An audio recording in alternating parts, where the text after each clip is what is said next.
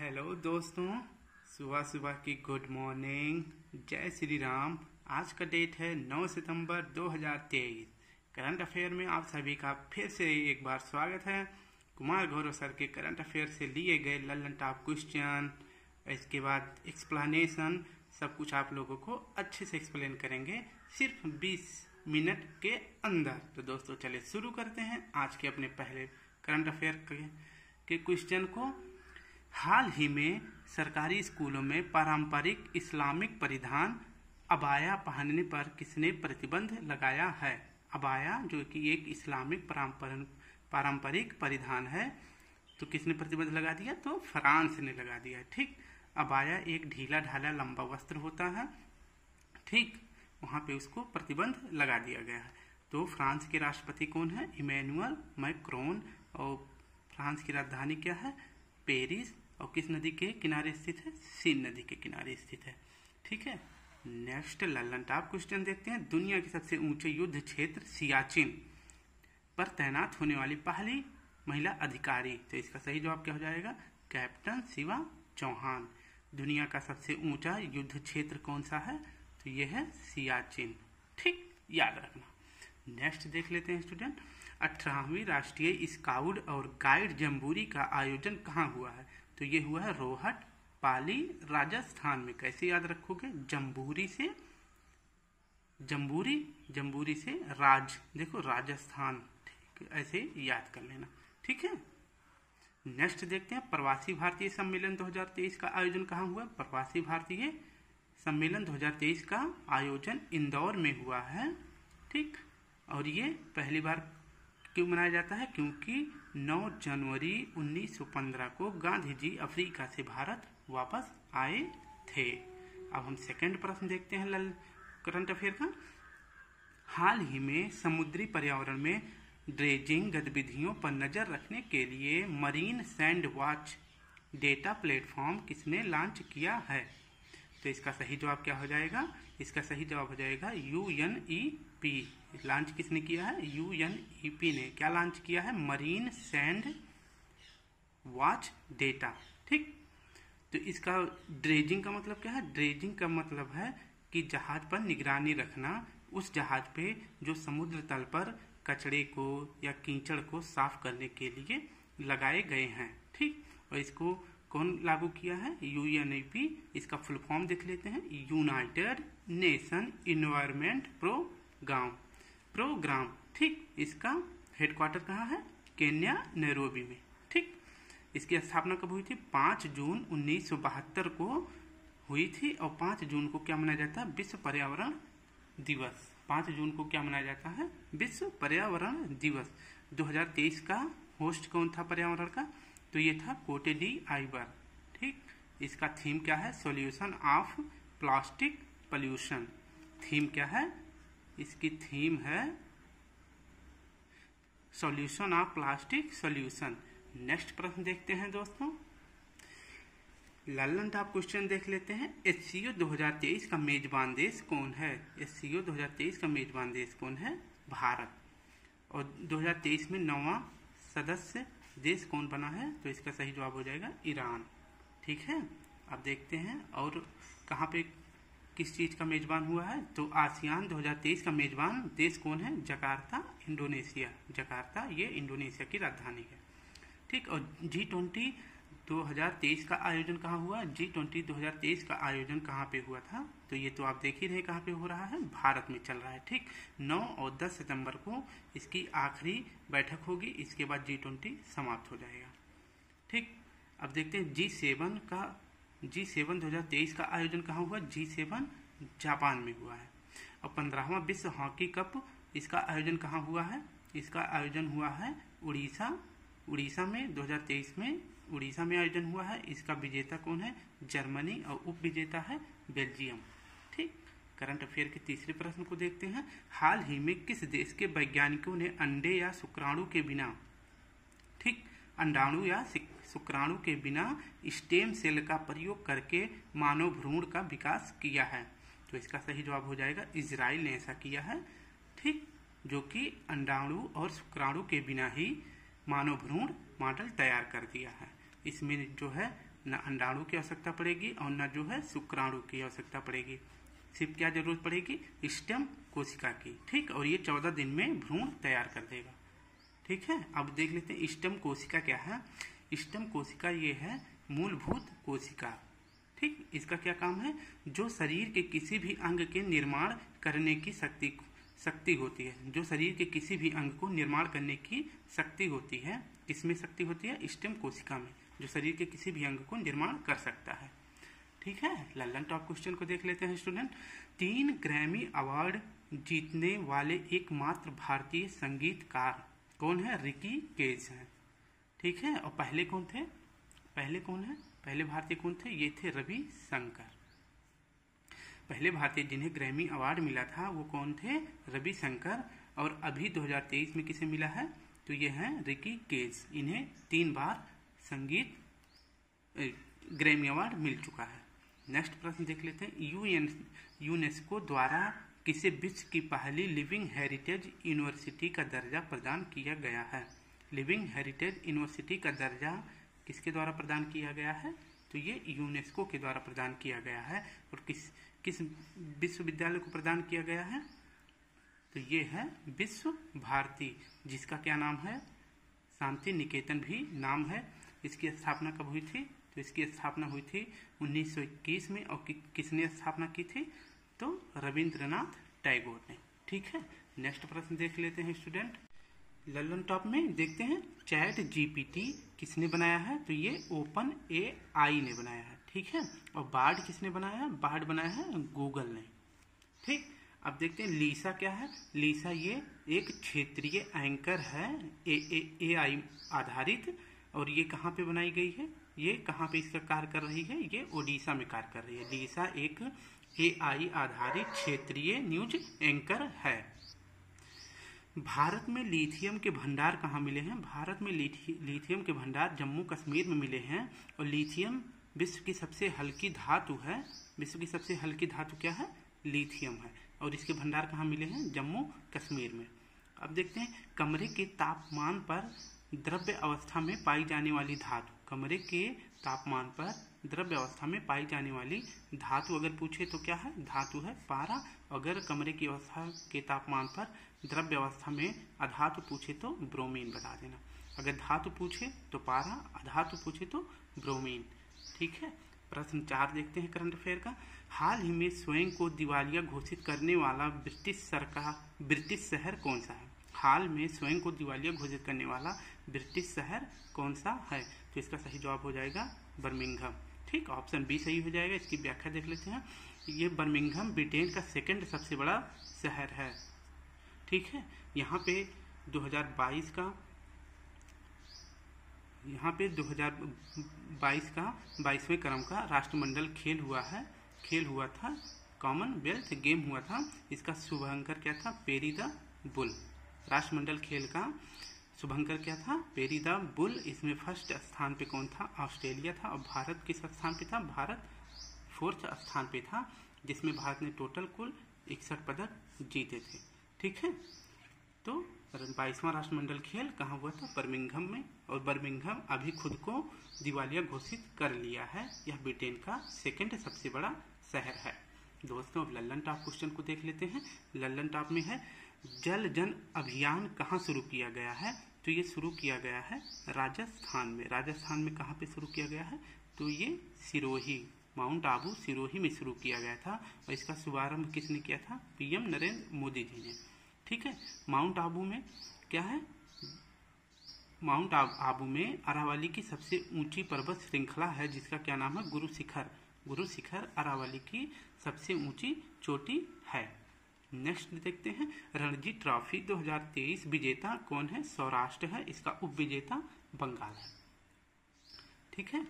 नीति आयोग के CEO present time पे कौन है? पीवीआर सुब्रमण्यम और प्रेजेंट टाइम पे उपाध्यक्ष कौन है? सुमन बेरी और इसके अध्यक्ष जो है पीएम होते हैं। और इसकी स्थापना कब की गई थी? इसकी स्थापना नीति आयोग के स्थान पे की गई थी। अरे मतलब नीति आयोग की स्थापना कब की गई थी? एक जनवरी 2015 ठीक है? ये योजना आयोग के स्थान पे बनाया गया है। नेक्स्ट प्रश्न देखते हैं दोस्तों। पांचवा करंट अफेयर है। हाल ही में हंगरी में आयोजित inter international olympiad for informatics में भारतीय टीम ने कौन सा पदक जीता है? तो इसमें भारतीय टीम ने तीनों पदक जीता है। स्वर्ण, रजत, कांस्य तीनों जीता है। ठीक है? इसकी व्याख्या देख लेते हैं कि हंगरी में और क्या आयोजन हुआ था। तो हंगरी में वर्ल्ड एथलेटिक्स चैंपियन का आयोजन किया गया था बुडापेस्ट में। ये हंगरी की राजधानी है। इसमें नीरज चोपड़ा ने स्वर्ण पदक जीता था। कितने मीटर दूर भाला फेंक के? अट्ठासी पॉइंट वन सेवन मीटर, ठीक? Eighty eight point one seven metre दूर भाला फेंक के गोल्ड मेडल जीता था। अब देखते हैं क्या हो रहा है इस टाइम पे। इसमें अभी हो रहा है कि किसका आयोजन हो रहा है? इंटरनेशनल ओलंपियाड फॉर इंफॉर्मेटिक्स इसमें, यह, इसमें भारत जो है, नौ वर्षों बाद गोल्ड मेडल जीता है। और किसने गोल्ड मेडल जीताया है भारत को? क्षितिज सोडानी ने ठीक लल्लन टॉप क्वेश्चन को देख लेते हैं दोस्तों। प्रितजर आर्किटेक्चर पुरस्कार 2023 किसे मिला है? तो इसका सही जवाब हो जाएगा डेविड चिप्पर फ़ील्ड देखो प्रितजर ऐसे कुछ आवाज़ आ रहा है ना? मैच कर रहा देखो प्रितजर चिप्पर प्रितजर चिप्पर, ऐसे याद कर लेना। नेक्स्ट है, विश्व का सबसे लंबा प्लेटफॉर्म, रिद्धा सिद्धरुधा प्लेटफॉर्म। ये कहाँ पे? कर्नाटक में, लगभग डेढ़ किलोमीटर लंबा है। इसके पहले कौन था? गोरखपुर। ठीक नेक्स्ट देख लेते हैं। सर्वश्रेष्ठ मूल गीत श्रेणी में आस्कर अवार्ड 2023 किस गीत को मिला है? तो ये नाटू नाटू को मिला है और ये फ़िल्म कौन थी? Triple R R R R. ठीक है? और शॉर्ट डॉक्यूमेंट्री फ़िल्म में किसको मिला? द व्हाइट एलिफेंट विस्पर को आस्कर अवार्ड मिला है। व्यास सम्मान 2022 में व्यास सम्मान 2022 का पुरस्कार किसे मिला है? तो ये मिला है ज्ञान चतुर्वेदी को। किस उपन्यास के लिए इनके मिला है? तो पागल खाना के लिए मिला है। ठीक है? पागल खाना उपन्यास के लिए इन्हें 2022 का व्यास सम्मान मिला है। प्रश्न, छह देख लेते हैं करंट अफेयर का। ग्लोबल फिनटेक फेस्ट 2023 में leading personality of the year से किसे सम्मानित किया गया है? तो इसका सही जवाब हो जाएगा option A, leading personality of the year, Adeeb Ahmed को मिला है। इसका आयोजन कहाँ किया गया था? बॉम्बे में किया गया है। यहीं पे भारत का पहला यूपीआई एटीएम भी बनाया गया है, जिसका क्या नाम है? हिताची। मतलब यूपीआई किसने बनाया है? हिताची, जो जापान की कंपनी है, और भारत का संगठन एनपीसीआई ने मिलके बनाया है भारत का पहला यूपीआई एटीएम। ठीक? अब देखते हैं कि leading personality of the year का पुरस्कार किसे मिला है? अदीब अहमद को मिला है, जो इसका पहला मतलब फ़र्स्ट आंसर सही हो जाएगा और fintech leader of the year पुरस्कार किसे मिला है? तो ये भावेश गुप्ता को मिला। अगर फिनटेक लीडर अवार्ड पूछे तो ये भावेश गुप्ता को मिला मिला है और लीडिंग पर्सनालिटी का पुरस्कार अदीब अहमद को मिला है। ठीक है स्टूडेंट नेक्स्ट देखते हैं। ललन टॉप क्वेश्चन देखते हैं कि सरस्वती सम्मान 2022 किसे मिला है? शिव शंकरी को मिला है। उनके किस सेकेंडरी स्टूडेंट तो शिव शंकरी जी को किस के लिए मिला है। सूर्य वंशम के लिए इन्हें 2022 का सरस्वती सम्मान मिला है। और सुंदरेजा आम को जीआई टैग मिला है। सुंदरेजा आम कहाँ का है? एमपी रीवा का है। रीवा एक जिला है, वहाँ का ये सुंदरेजा आम है, जिसे जीआई टैग मिला है। बसोहली पेंटिंग जो जम्मू कश्मीर की है, इसे जीआई टैग मिला है और कारी शादी जो कि कर्नाटक का है, इसे भी जीआई टैग मिला है। अब देखते हैं कि वर्ल्ड हैप्पीनेस रिपोर्ट में 2023 में भारत का स्थान क्या है? 126 और शांति में भी भारत का क्या स्थान है? 126 ही स्थान है। 127 में भारत का जेंडर गैप में भारत का स्थान है। 127 और वर्ल्ड हैप्पीनेस में 126 शांति में भी 126 127 में जेंडर गैप है और 38 में क्या है? भारत का लॉजिस्टिक परफॉर्मेंस इंडेक्स में भारत का स्थान है अड़तीस। ठीक करंट अफेयर के सातवें प्रश्न को देखते हैं। हाल ही में किस राज्य के काला जीरा चावल को जीआई टैग मिला है? काला जीरा चावल कहाँ का है? तो यह है उड़ीसा का। ठीक है? इसकी व्याख्या देख लेते हैं। काला जी, जीरा चावल कहाँ का है? उड़ीसा। उड़ीसा के किस शहर का है? तो ये उड़ीसा के कोरापुर शहर का है। ठीक? और काला जीरा चावल और काला चावल कहाँ का है? जिसे जीआई टैग मिला था तो ये मणिपुर का है। ठीक? और चावलों इसे जो है काला जीरा चावल को चावलों का राजकुमार कहते हैं। क्यों कहते हैं? क्योंकि इसमें पोषण तत्व बहुत अधिक मात्रा में होता है। ठीक? सलेम साबुदाना, इसको जीआई टैग में जीआई टैग टैग मिला है, ठीक? इसे भी जीआई टैग मिला है, ये कहाँ का है? सलेम साबुदाना, ये तमिलनाडु का। है लल्लन टॉप क्वेश्चन को देख लेते हैं स्टूडेंट। जीआई टैग के बारे में देख लेते हैं कि जीआई टैग की स्थापना किस एक्ट से हुई थी? तो ये हुई थी 1999 एक्ट के तहत, और पहली बार किसे दिया गया था? तो 2004 में दार्जिलिंग की चाय को दी गई थी। दार्जिलिंग की चाय पश्चिम बंगाल। इसे कौन देता है? इसे देते हैं वाणिज्यिक उद्योग मंत्रालय। कितने वर्ष के लिए? दस वर्ष के लिए देते हैं। जीआई टैग को अब देखते हैं सेकंड प्रश्न। आर्टेमिस सेकंड मिशन जो चंद्रमा पर जाने वाली पहली अंतरिक्ष यात्री महिला बनेंगी, कौन है? Christina Koch. ठीक? जो नासा के द्वारा भेजा जाएगा आर्टेमिस सेकंड मिशन ठीक? उसमें अब की बार महिला को भी भेजा जाएगा। तो ये पहली अंतरिक्ष महिला यात्री बन जाएँगी, जिनका क्या नाम है? क्रिस्टेना कोच और इनके साथ चार मनुष्य जाएँगे। मतलब चार आदमी जाएँगे, ठीक? तीन आदमी जाएँगे और ये एक अकेली महिला जाएँगी। अब देखते हैं लीगो लीगो वेधशाला को कहाँ स्थापित किया गया है? लीगो हिंगोली में स्थापित किया गया है। हिंगोली कहाँ है? तो ये है महाराष्ट्र में, ठीक है? अब देखते हैं कि मून के लिए भेजा गया मिशन कौन कौन सा है? तो मून स्नाइपर मिशन, ये जाक्सा जापान का है। ये फरवरी में लैंड करेगा। और लूना 25 जो रूस की कंपनी थी, अंतरिक्ष कंपनी रॉस कॉस्मॉस ये मिशन फेल हो गया फ़िलहाल।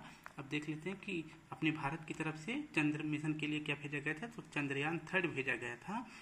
इसरो द्वारा जो सफलतापूर्वक चाँद की साउथ पोल पे लैंड करने वाला विश्व का पहला देश बन गया है। ठीक है? अभी तक चाँद पे चार देश गए हैं। एक गया है, सबसे पहले यूएसए गया है फिर रसिया गया है, फिर चीन गया है, फिर भारत। ठीक? फिर भारत गया है। इसके बाद नेक्स्ट चला जाएगा।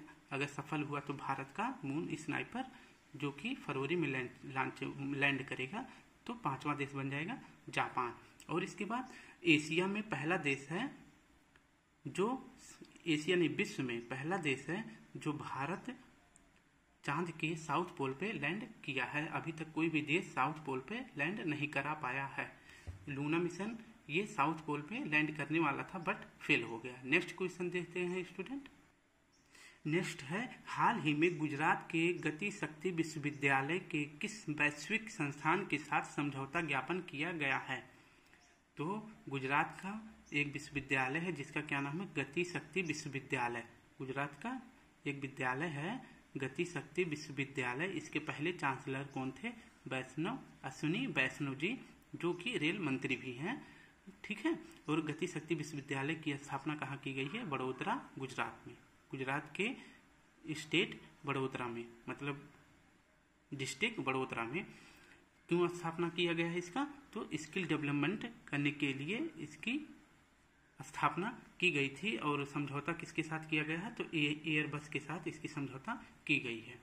ठीक है? हाल में गुजरात के गति शक्ति विश्वविद्यालय के किस वैश्विक संस्थान के साथ समझौता किया गया है? तो ये किया गया एयर बस के द्वारा समझौता किया गया है। क्यों किया गया है? स्किल डेवलपमेंट के लिए।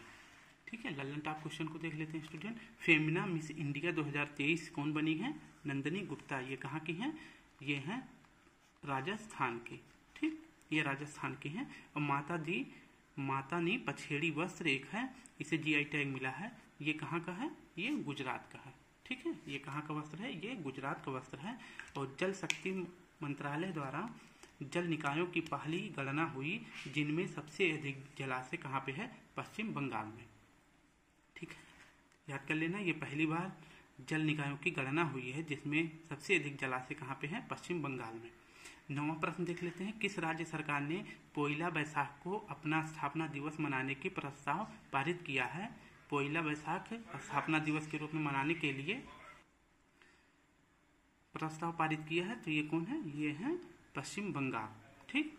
कौन सा राज्य है? पश्चिम बंगाल। इसकी व्याख्या देख लेते हैं। पश्चिम बंगाल ने प्रस्ताव पारित किया है, यह विधानसभा में। क्यों पारित किया था? क्योंकि पोइला बैसाख जो है, ये बंगाली कैलेंडर का पहला दिन माना जाता है। इसलिए इस प्रस्ताव को विधानसभा में पारित किया गया है। लल्लन टॉप प्रश्न को देख लेते हैं। भाग एक। अब देख लेते हैं कि भाग एक में भारत के के सीमा में या भारत के अंदर कोई भी परिवर्तन किया जाता है तो वो किस अनुच्छेद के अंतर्गत किया जाता है? तो अनुच्छेद एक में देख लेते हैं क्या कहा गया है कि India that is Bharat shall be a union of states तो आपसे पूछ भी लेता है कि भारत के संविधान में भारत को किस नाम से संबोधित किया गया है? तो भारत, एक तो भारत नाम से संबोधित किया गया है और एक इंडिया बस, हिंदुस्तान या फिर आर्यव्रत, ये सब नाम नहीं दिया गया है। भारतीय संविधान में सिर्फ़ इंडिया और भारत नाम दिया गया है। अब सेकंड अनुच्छेद में देख लेते हैं क्या है। इसमें है कि एडमिशन ऑफ़ न्यू स्टेट्स या कोई बाहर का राज्य है, या फिर किसी और देश का राज्य है, अगर भारत में सम्मिलित होना चाहता है तो उसके लिए अनुच्छेद दो फॉलो किया जाएगा। जैसे कि सिक्किम हमारे देश का भाग नहीं था, इसको जो है 1975 में भारत में मिलाया गया था, अनुच्छेद दो के तहत। ठीक, अब अनुच्छेद तीन में देखते हैं क्या है। इसमें है फॉर्मेशन ऑफ़ न्यू स्टेट्स मतलब कि जो भारत के अंदर ही राज्य हैं, उनकी सीमा में, उनके नाम में, या उनके किसी डिस्ट्रिक्ट के नाम में, या फिर उनकी किसी नहर, नदी इसमें कुछ परिवर्तन करना होता है। किसी दूसरे राज्य की सीमा को अगर किसी दूसरे राज्य में मिलाना होता है तो इसके लिए अनुच्छेद तीन लागू किया जाता है। ठीक है? अब देखते हैं स्टूडेंट प्रश्न चलने का अधिकार, चलने का अधिकार लागू करने वाला राज्य। चलने का अधिकार लागू करने वाला राज्य कौन है? ये राजस्थान है और स्वास्थ्य बिल भी बिल भी लागू करने वाला राज्य कौन है? राजस्थान। स्वास्थ्य बिल भी लागू करने वाला राज्य राजस्थान है। नेक्स्ट प्रश्न देखते हैं स्टूडेंट नेक्स्ट प्रश्न है, उत्सर्जन व्यापार योजना यानी कि E T E T S लागू करने वाला देश का दूसरा शहर कौन सा है? दूसरा शहर हो गया है अहमदाबाद और पहला शहर कौन था?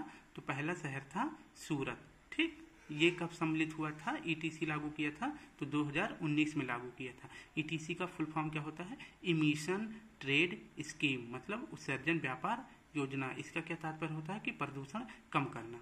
ठीक ईटीएस लागू करने वाला पहला राज्य कौन था? अरे, पहला शहर कौन था? ये सूरत था। कब लागू किया था? तो 2019 में। और दूसरा कौन लागू किया है? 2023 में, अहमदाबाद।